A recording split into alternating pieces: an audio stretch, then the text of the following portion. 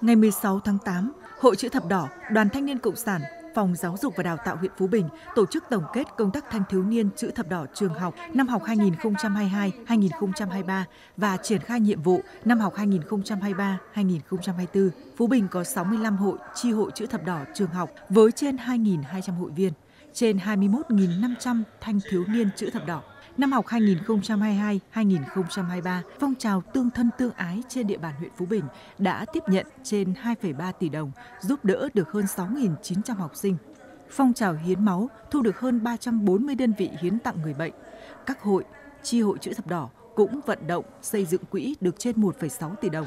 Trong năm học 2023-2024, các hội, chi hội chữ thập đỏ các trường học tiếp tục đa dạng hóa các hoạt động tại đơn vị gắn với các phong trào mỗi tổ chức cá nhân gắn với một địa chỉ nhân đạo, tương thân tương ái, đẩy mạnh công tác tuyên truyền để kết nối với các tập thể cá nhân có lòng hảo tâm để giúp đỡ cho các học sinh có hoàn cảnh khó khăn.